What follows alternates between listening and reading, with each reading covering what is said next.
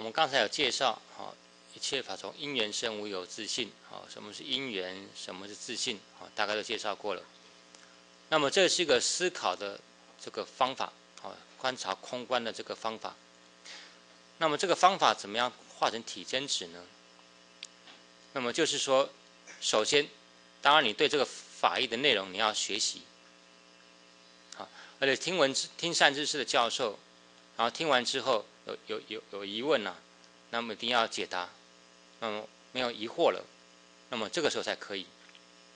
所以各位记得我们在学这个略论声摩他的时候，他有强调啊，他有提到。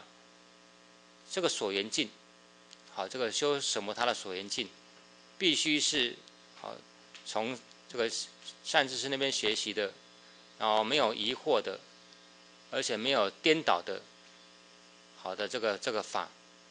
那么以这个法，那么作为我们的这个所缘境。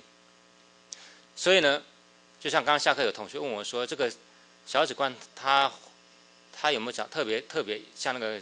列论一样特别讲到修观的部分呢。事实上，小指观这个是整个修止修观大结构，它不会特别的把这个修观的这个地方挑出来讲。为什么呢？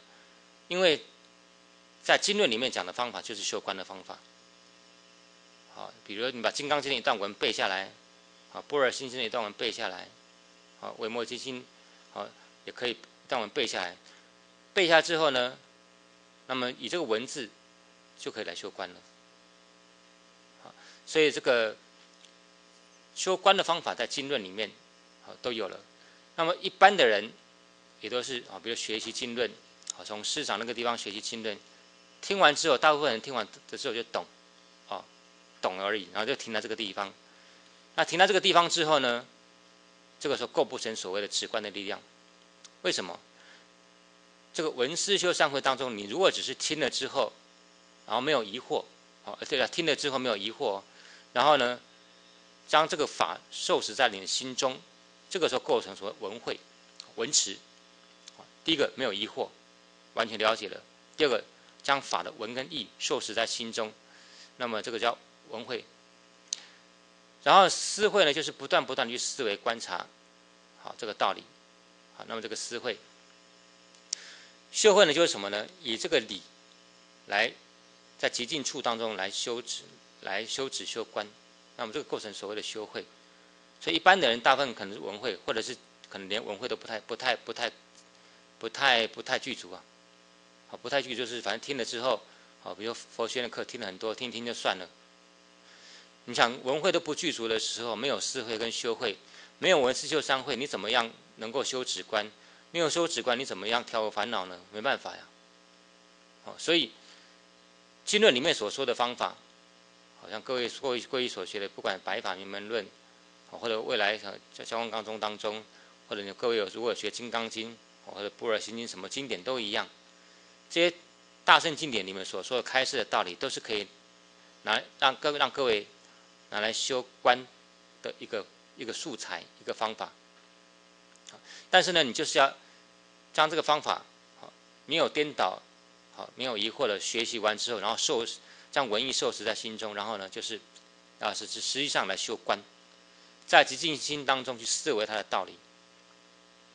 那么思维它的这个道理之后呢，你今天思维，明天思维，慢慢思维久了之后，你思维完了，你这个道理在你心中会产生一个觉受。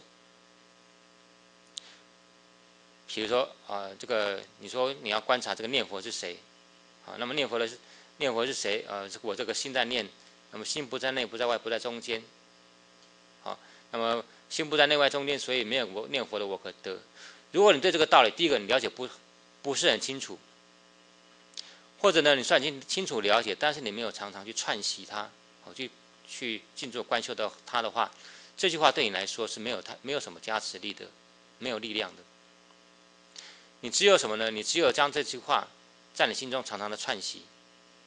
好了解之后，然后常常的串习，串习久了之后，哦，所以心不，啊不，呃，这个过去心、现在心、未来心不可得，或者心不在内外中间，串习久了之后，诶，慢慢的，当你思维观察这这个道理之后，你是心会产生一个空的这种觉受，所以空的觉受就是我刚刚讲的，比如说你本来看到的佛像，或者一切境界，或者或者就是你这六这这念心好了，因为我们打坐当中修空观了哈。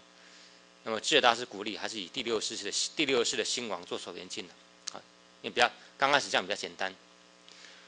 你观察心不在内外中间这个道理之后，才能觉受之后，你就将你的你就将你的观察力注在你的第六意识的心的心王上，这时候不带任何名言。虽然不带任何名言，但是呢，因为你之前有这个修空观的这个力量的这个加持，然后你有那个空的觉受还在。有空的觉受还在，所以呢，你虽然不带名言，可是你看看着你的心的时候，你这时候你在看念佛是谁，在提起这个话头啊，好，或者就是说你稍稍意念一下，好，三心不可得，好，提起话头是禅宗的方法了哈。我们教下可以，比如说提起三心不可得、四心不可得等等的，提起志向，然后再再去看，好，住在你的住在你的这个心的这个境界上，那么就像禅宗一样会产生移情，哎。你会觉得这个心已经不像过去你没有修空观之前那么样的真实了。你会多少多少会有点感受，哎，这个念佛的是谁，或听闻佛法的是谁？那么这个就是体真子，你不带名言，然后呢，又能够有能够了知从因缘生，好了知它当体如当体即空。所以刚开始的时候一定是先盘腿坐，盘腿打坐。去练习，好，可能，可能就刚开始可能只有一下一短暂，好几秒钟的时间，然后慢慢的把这个时间延长，好，随着你不断不断的修修空观，然后修空观之后，好舍离心相，把这个所缘境放下来，啊，把那不是不是不是所缘境放，把那空的这个思维放下来，啊，安住在这个所缘境上，好，第六式第六式的所缘境不动，好，常常做这样练习的时候。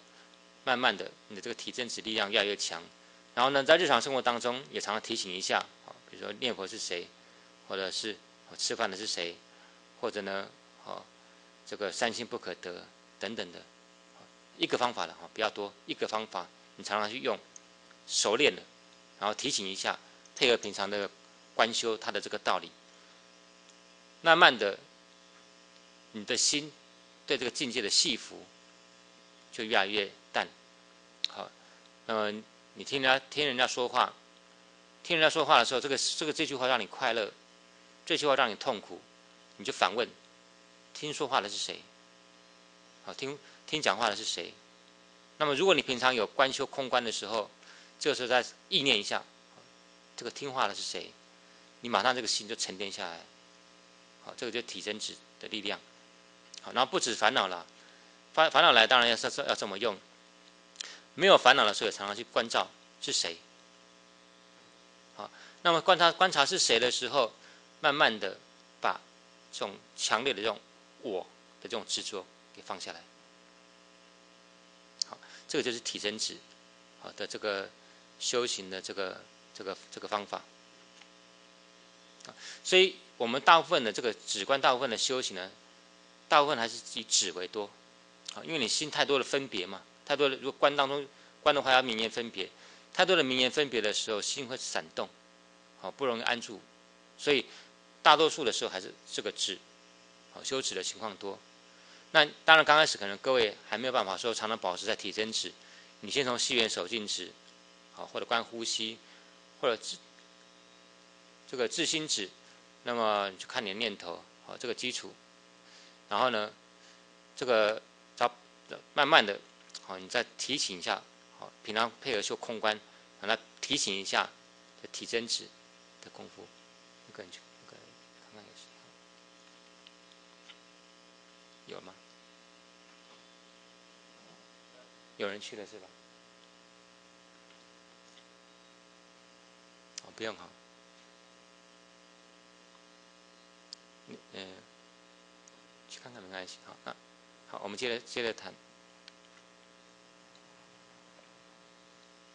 好所以这个体真子的修法，为为什么他就必须你的心必须很极静？所以你看前面二十五方便啊，具无缘何无为气五盖调五是行无法，这一切一切的基础都具足的时候，第一个你才办法修空观，好，不然心很散乱呐，根本空空空观那个思维都思维不起来，就像那个刀子已经生锈了，很钝了，没有办法切东西的。好，那么这个只有在二十五方面具足之后，修空观才办法。那么修空观之后，你才办法真的慢慢的入于体真子的境界当中。好，所以就像这个，比如说各位要是有机会去去那个禅禅的禅堂啊，刚开始可能前前面第一个礼拜，你说什么安在于心当中啊，恐怕很难。哦，除非常常常常这样这样子用功的人，不然可能刚开始第一个礼拜就只有十大悲咒啊，念阿弥陀佛啊，好，先让心安定下来。安定下来之后，可能第二个礼拜之后才有办法慢慢的，好去升提话，参你练那个提这个话头啊，然后呢，好就升安在怡情当中啊，慢慢的好升起这个力量。所以为什么我们我们看我们在会再强调，我们修行人这个生活要单纯，好不要到处攀援，因为你如果今生的修行只打算说一种很粗糙的修行，好我就是好一天啊念佛。然后念佛，然后呢，实际上又像清楚又像不清楚，啊，这样很粗糙的、很粗糙的念，很粗糙的修，然后呢，也是听，每天也是在上课听法，听完之后呢，好，大概知道了，好，永远保持在个大概的状态当中。你如果说你对你今生出家修行的目标就是个大概大概，这种粗糙状态的话，那这些外援，啊，或者这些善巧你都不知道，或许还没什么太大关系。但是如果说你今天，的修行，真正的想要提升我们往生净土的品位，想要从中品好，乃至到上品好，乃至到上品上升，那你这个止观好，这个这个修行的善巧，还有这个具足这个二十五方面的这个缘呐，你就不能不讲究了。好，因为它这个这个很维系的一个境界，你心要很静，好要很。要很极静啊，嗯，不能有，不能有那么出众的，这么出众的烦恼。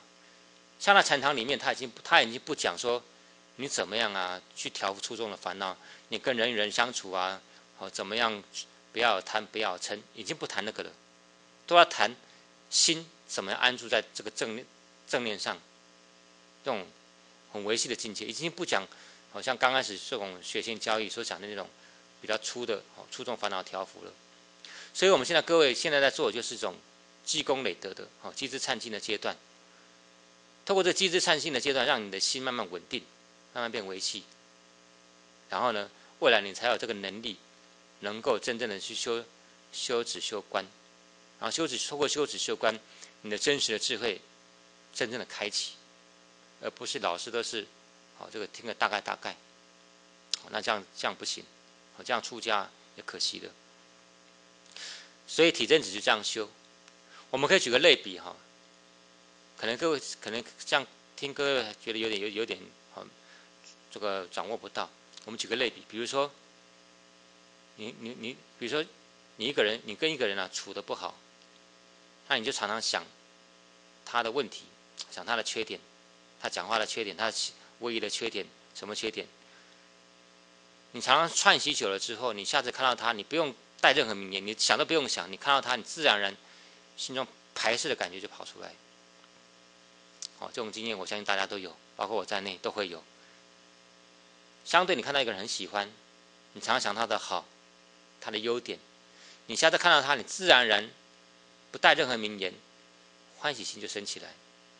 体天子就是这个道理，你可以不带名言，但是呢，这个这个阿赖斯的这个种子就会跑出来。好，因为。我们的心呢，不，就算你不带名言，他不，他不会啊，一定是无，不见得就是无忌，不见得。阿赖，因为各位学过为师就知道，我们在我们在一个念头升起的时候，常常带很多的心锁在里面，啊，不会只是一个心锁在里头，好几个心锁在里面，就看你熏习哪一种心所多，就什么样的心所相应升起。所以呢，就我刚刚讲的，你要。这个出家修行，你要是你希望你出家修行是什么样的品质，这个抉择在于你。好，那你要修止观，甚至你要修体真止的话，你现在就要多积资忏进，然后多多减少外缘，然后减少这个，不只是说不只是说不要出去的外缘，乃是六根的外这个这个眼耳鼻的身的是外缘啊，好，不要往外攀，好，不要老在看啊这个姿势啊，这个对啊。那个不对啊，这个好啊，那个不好啊，你这样的话没有办法修，没有办法修止观的。真的要修止观，你只有你的心永远保持往内射，心要看到别别人的事情跟你没关的，马上收收回来，告诉自己这是我的业障，好，不是他不对，而是我的业障。我我现在在做这个练习啊，你看我在学院做了十二年的执事，十二年的执事我以前也是管很多事啊，但是各位你看我现在有管事吗？我从来不管的，我下来就吃饭，吃完饭我就上去，我只要不要在我面前吵架打架，我都基本上我就不管。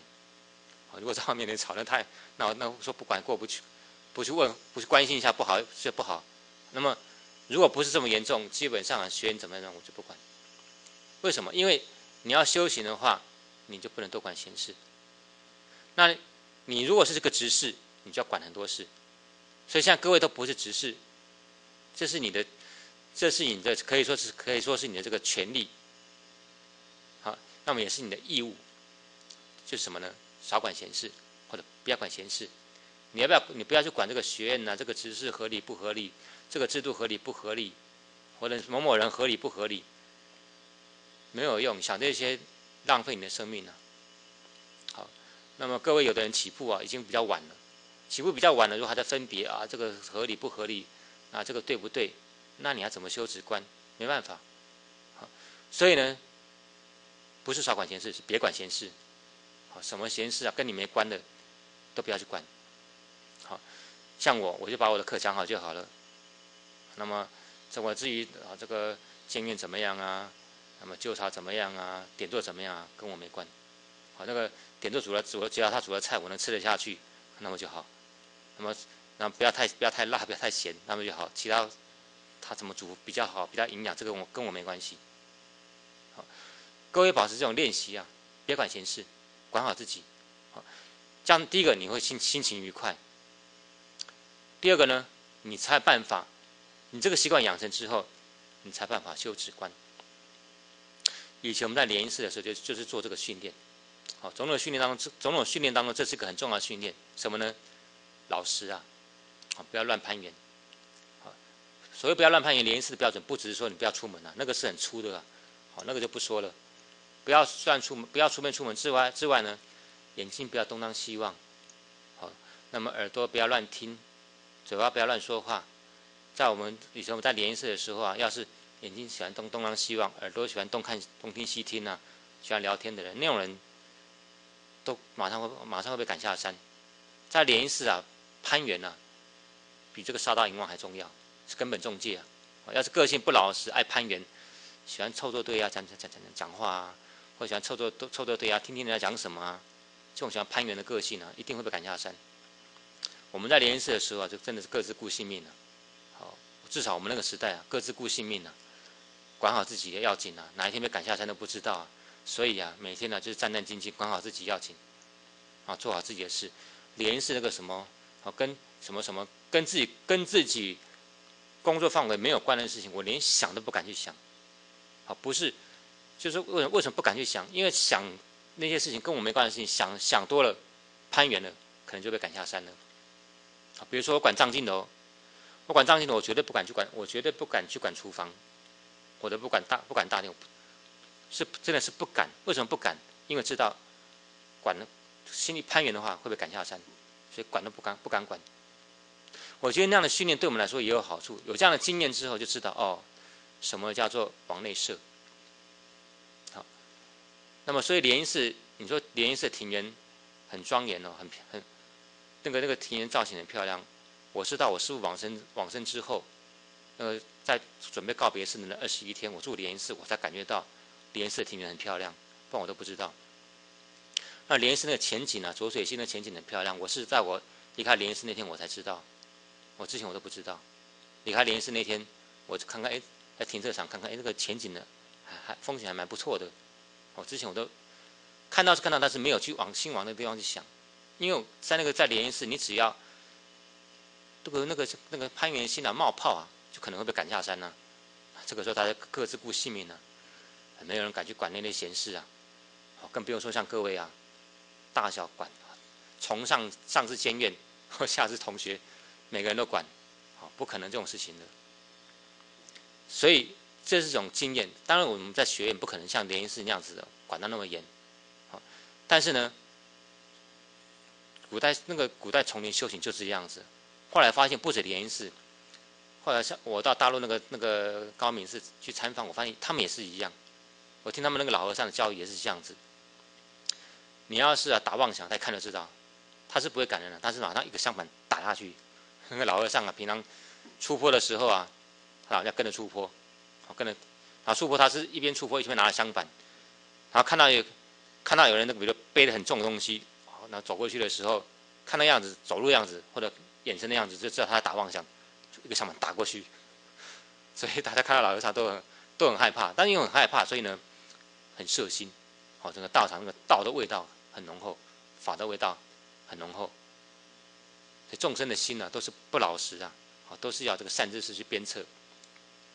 但各位现在啊，因为我们都是学员，都是公平、公正、公开啊，好，什么事都跟大家做一下讨论呢。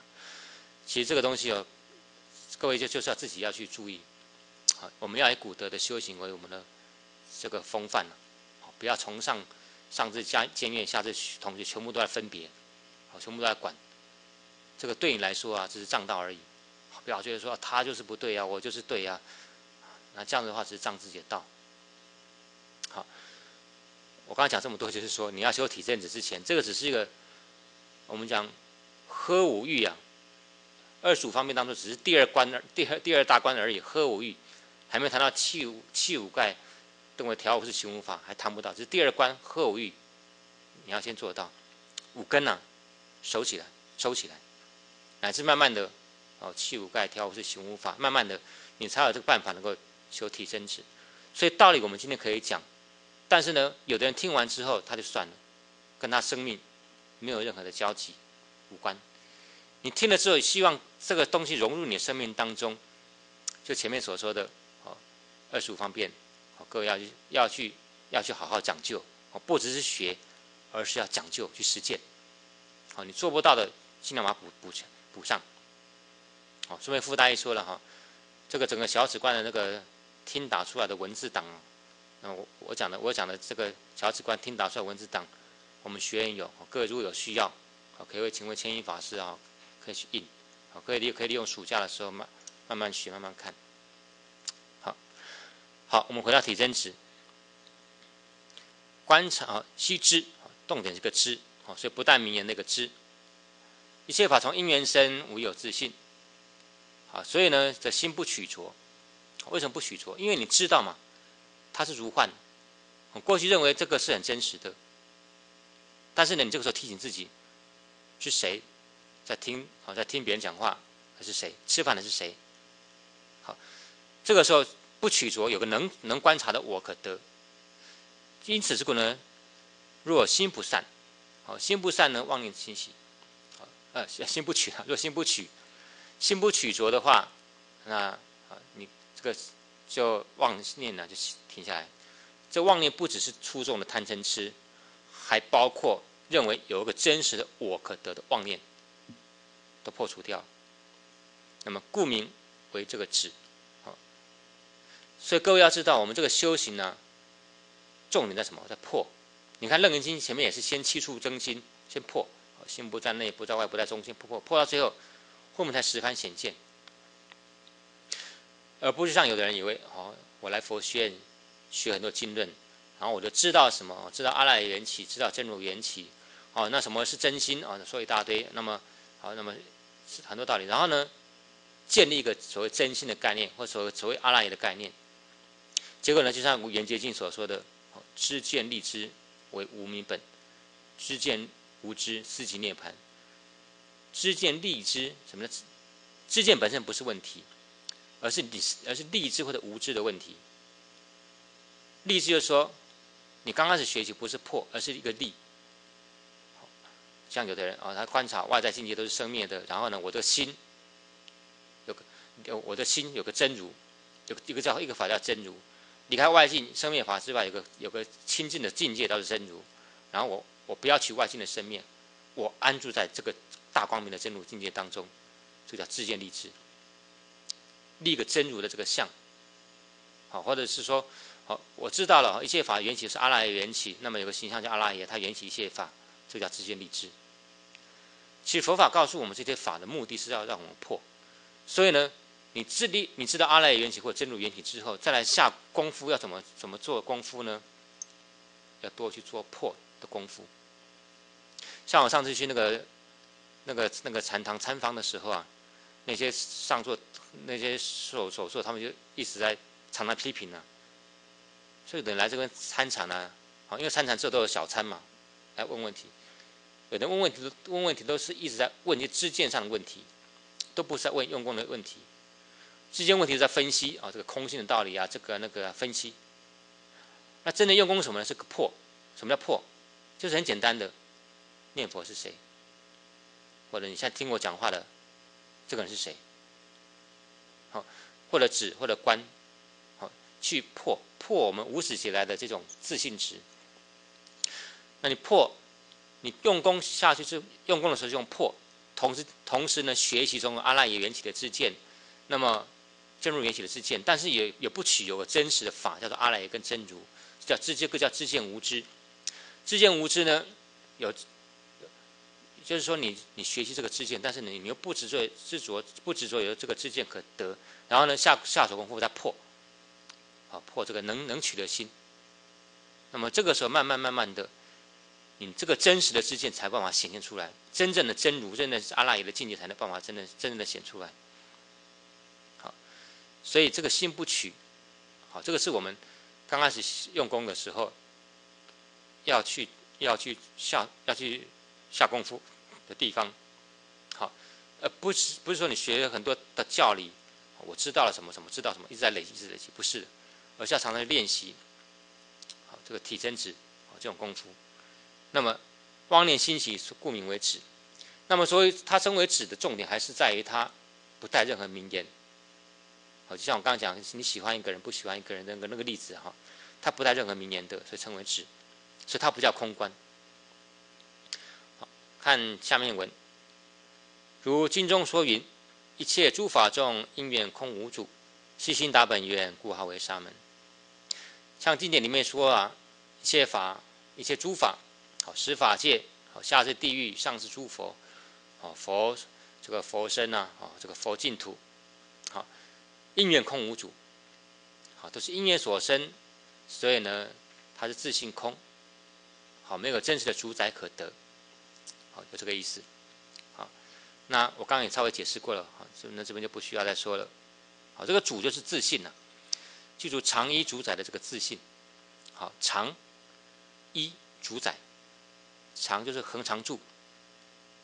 好，就说像世界人认为灵魂，好恒常住，好这这辈子死了，好灵魂脱脱壳，他们到下辈子继续轮回，这叫常。一一的不变异，它不会改变。好，它有那么虽然有时候做人，有时候做狗。那么有时候升天，但是灵魂灵魂呢，主体不会改变，这叫一。主宰，就说他不必假借任何因缘就有的，有灵魂。什么时候灵魂呢？从古了无始劫来就有灵魂了。好，那么这个就就有真实的存在一个法，好或者上帝，或者大梵，或者大我，这就主宰，他不必假借外缘。甚至我刚刚讲的，有的人认为。外相都生灭，离开生灭外相之外，有一个大光明的境界，叫做真如。这个叫做这个叫做主宰。那么这个这个就是主的，这个就是主的观念。而一切法是因缘空无主。好，那么所以呢，我们要是能够习心达本源，习心好，停止颠倒妄想心，好，透过修持修观，停止这个颠倒妄想的心。回到本源，好，所以回到本源不是说有个真如的本源可得，而是你透过习心，你心安定下来了，妄想剥落一分，自信开显一分，哦，不是说老是个抓住个什么东西叫真如，然后我安住在这个所谓的真如上，不是这样的。那么长时间的修止修观来破，破你的自信值，当然要配合学习，好，破了之外也要立，好立，好立这个好说真如的观念。那立个真如观念，同时又不执着他以为实，为什么要同时破破这个自破这个能能取所取的自信值？慢慢的修行久了，好，当然重点还是先从破烦恼开始的哈，烦恼破一分，自信开显一分，故号为沙门。好，沙门就是勤习，好，沙门是梵文的哈，翻译成汉文的意思叫勤习，勤修戒定慧，熄灭贪嗔痴。我们说我们是沙门。但真正的能够够资格称为沙门，就是悉心达本源。我们要常常修止修观，安定自己的心。先从最初的，出众贪嗔痴的烦恼安定，乃是慢慢的，没有很出众的贪嗔贪嗔烦恼，慢慢的去对治内心的这个痴烦恼。好，用一切法真实性的这个痴烦恼去对治它。好那这个才能够办法，才才才能够真正的称之为标准的沙门。好，那这个就是三种止的方法。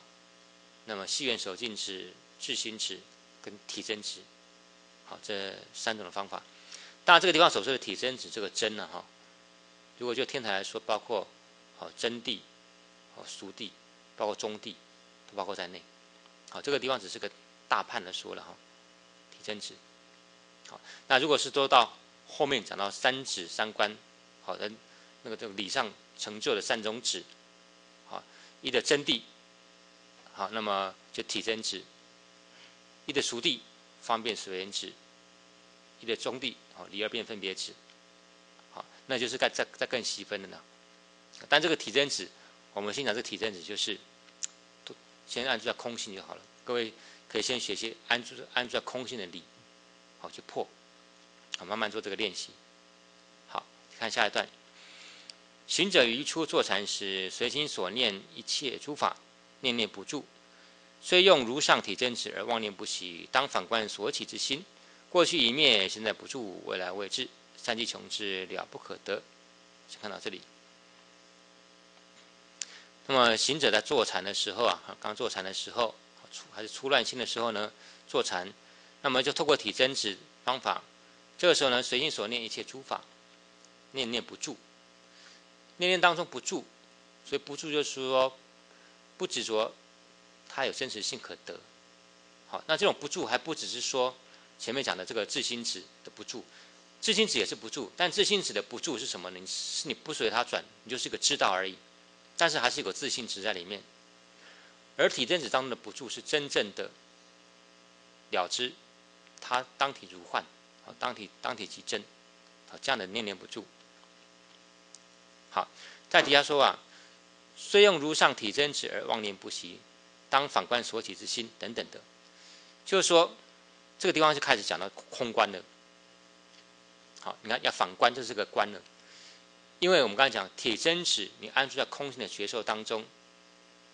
那这个不容易，好，当然你像禅宗，他会常他会常常提起话头，好，提起话头念佛是谁，但是有时候话头提久了，有时候你这个你那个空观的这个力量不够，观念佛是谁，那个移情呐，还是升不起来，好，所以移情就是说，你看这个境界啊，啊，这个或者我们讲这个第六是第六是心了哈，这个能能念佛这个心呐，好，你觉得你感你感受它不是这么真实的这种感受。这种移情，好，虽然说提起话头，但是还是升不起这个移情。这个时候，好，我们就会返返回来修观，观察时在念佛，好，那这个时候就是根据经论里面所说的方法来修空观的。那么所谓修观，啊，毗婆舍那的观呢，就是要带名言了。好，所以修止是一种，修观是一种，分得很清楚。各位不要一开始我就是我只观不二。好，急躁不二，不要瞎说那么高的境界。你修止的时候修止，三种止都可以。你修观的时候就要带名言，啊，不要含糊笼统。那么修观的时候，你指的所缘境就停下来。哦，不是我一边念佛一边修观，不是的，是佛号停下来。那么纯粹来修 修空观，好，好修观。那这个地方讲到修空观的方法，那修空观的这个方法。它从两方面来观察，第一个从时间的观察，那第二个呢，从空间来这个观察。好，那第一个呢，从时间来观察，观察什么呢？三心不可得。那我们先讲这个修空观呢，这个能破跟所破，啊，能破当然是能破的话，当然是这空观的这个智慧。那么所破什么呢？所破就是这个自信值，就是说执着这个法当中有真实性可得，这种叫自信值。那我们一般的人呢，为什么我们在修空观的时候，我们都会以第六第六世的心王做所缘境呢？好，能观所观，所观是第六世的心王，为什么呢？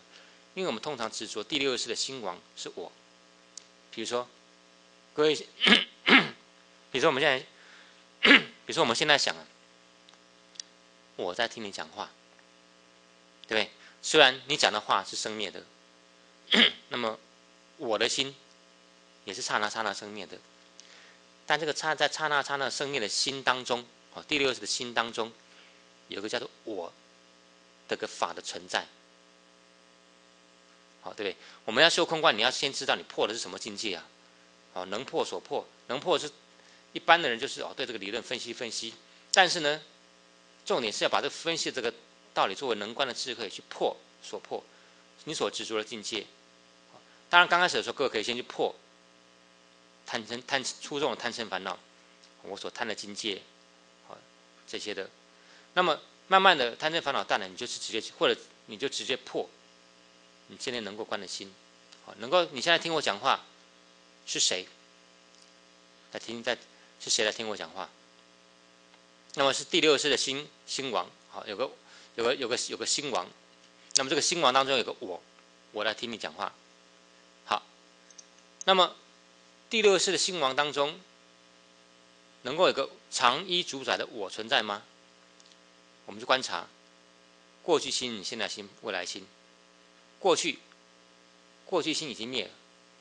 你说这个我嘛，我这个法啊，有具有具有自信的这个我这个法，它存在必须有存在的时间跟空间，对不对？一个法真实存在嘛，有存在的时空。就时间来说，不是过去就现在就未来。过去的心啊，你说你说这个我在第六世的心的后面有个我的存在，那么第六世的心过去的。第六世心已经已经已经消失不见了，找都找不到，灭是了不可得。现在，好，那么现在不住，所谓现在的这个这个所所谓这个现在的这个这个第六世心是刹那刹那升起，马上就变成就变成过去了。在这种刹那升起的当中，你说要找个我的存在也没有啊，那。那只是个我们的我们一个妄想而已。未来，未来，这个未来未知，哈，未来现在呢？未来的心也找也没有个这个潜藏处，也找不到。那么，过去、现在、未来三个心都是无常，好，都都是都是无常的，好，那么都是没有自信的。那么在这当中，怎么能够找到我的存在呢？那所以呢，所以我这个概念。就只是我们加上去的一个幻想而已。我们举个例子，就像什么呢？你在黑暗当中，你看到个枯木，好，那个干枯的树木，因为很暗，所以你你看到的枯木，你以为是鬼。好，这个这个枯木它有它暂时存在的一个好暂时存在的一个一个作用在，好作用不无。但是鬼这个概念，我们谈的概念呢？是你自己加上去的。什么叫概念？好，我们可以举一个一个例子，比如说，这个东西很好吃，很好吃，这个叫做概念。所以概念就是不真实，就是你自己想出来的。为什么？为什么说？为什么说？为什么说呢？比如说，你这个说这个蛋糕很好吃，然后呢，你吃一个很好吃，你再吃第二个可能就没味道，再吃第三个就要靠发心了，再第四再吃第四个你就呕吐了。你说蛋糕很好吃，你说蛋糕好吃，我规定你要吃五个蛋糕，你就不可能你可能再也不敢吃蛋糕。那所以呢，所谓好吃这个概念啊，概念哦，就是你你心想出来的一个概念，它叫它它这种幸运的哈，它是你它是它只是你心中想出一种一种一种无常一种不真实的法而已。